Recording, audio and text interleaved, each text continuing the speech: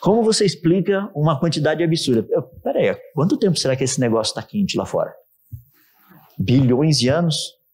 É mais ou menos como pegar seu copinho de água em ebulição, colocar em cima da pia e daqui três meses você voltar, a água está em ebulição ainda. Você chamaria isso de milagre. Se olhar para o universo e encontrar uma quantidade absurda de gases superaquecidos, você me dizer que esse negócio tem 13,8 bilhões de anos, eu tenho que dizer para você o seguinte: milagre. Não ia ficar tanto tempo assim lá. E para onde a gente olha, é só essa região que eu mencionei para vocês, olha assim que coisa espetacular. É uma quantidade absurda. Eu estou falando para vocês, é uma quantidade absurda de gases superaquecidos que nós temos ali.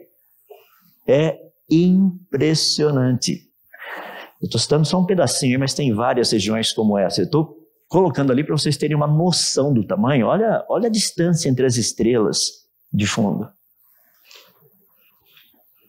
Eu não estou falando de negocinho, tá? Um filetezinho de gás superaquecido de alguns quilômetros. Estou falando de centenas de anos-luz. O negócio é muito grande. Superaquecido, produzindo ainda, emitindo calor. Isso dá para ter uma ideia um pouquinho melhor da situação. Tá?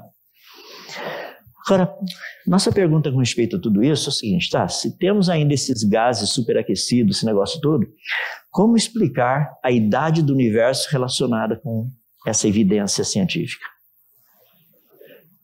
Como? Será que o universo seria realmente tão antigo assim?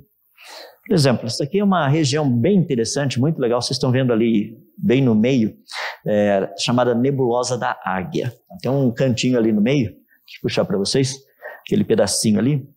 Ah, tem várias partezinhas ali desse, dessa nebulosa da águia que eu queria mostrar para vocês. Dá uma olhadinha. Tem mais um outro ali embaixo, um cantinho ali. Tem um outro mais lá no meio. Isso aqui é essa parte da nebulosa da águia, onde você tem ali os pilares da criação. Eu falei da Eta Carina, mas falei, falei errado. Da nebulosa da águia, onde você tem isso daí, são chamados pilares da criação. é uma coisa muito bonita. Dá uma olhadinha.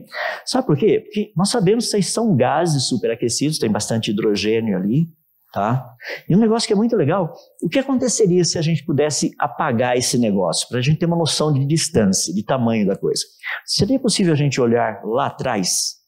Eu vou pegar só aquele pedacinho do meio ali, porque ali fica mais fácil, tá? que seria isso aqui. Ó.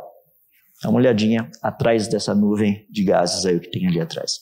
Uma quantidade gigantesca de estrelinhas de novo. Agora, pergunta. Quando nós olhamos estruturas como essa, que são de algumas dezenas de anos-luz, gases superaquecidos. Deixa eu pegar um pouquinho mais lá na ponta, para você ter uma noção do que, que nós estamos falando. Dá para ver entre esse negócio, as estrelinhas e tudo mais ali atrás. Dá para a gente ter uma ideia do tamanho da coisa. Ou seja, você tem uma noção do que isso significa, qual a implicação disso, o que significa nós termos encontrado um universo que tem uma quantidade absurda de gases superaquecidos.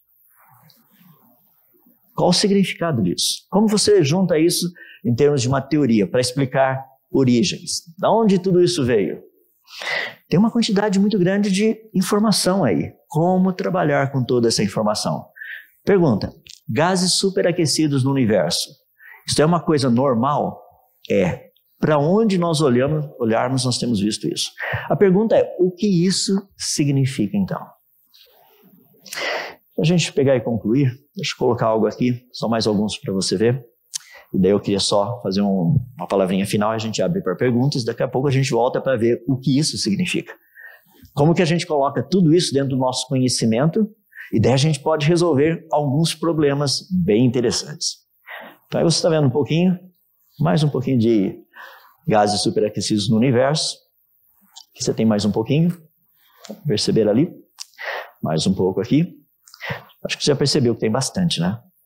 De novo, você fica mostrando o que a gente tem aqui, a gente vai ficar até amanhã cedo mostrando fotos de. Né? Porque não. Pessoal, o que eu quero que vocês entendam, nós não estamos pegando um negócio que é o único. E em cima disso, vamos desenvolver uma teoria. Não, a gente está pegando aquilo que está em todo lugar. Em cima do que está em todo lugar, nós precisamos, porque isso é evidência, em cima disso a gente vai ter que desenvolver uma teoria. Como explicar a existência disso? Como explicar a existência de gases superaquecidos no universo quando a temperatura é extremamente baixa? E isso não vem de explosão de supernova. Percebe o nosso problema? Aqui tem mais um pouquinho. Tem mais um pouquinho. Mais um pouquinho ainda. Mais um pouquinho. Mais um pouquinho. Mais um pouquinho ainda. Vou pegar um pedacinho ali, ó, aquele cantinho ali do meio, deixa eu ampliar para você ver a situação. Tá? Gases superaquecidos. Mais um pouquinho. Mais um pouquinho.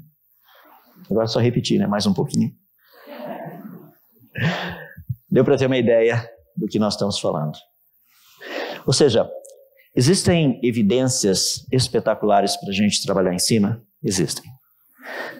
O que eu gostaria de pegar agora na segunda palestra é trabalhar em cima o que tudo isso significa. A evidência nós temos. Como trabalhar com a evidência. Certo?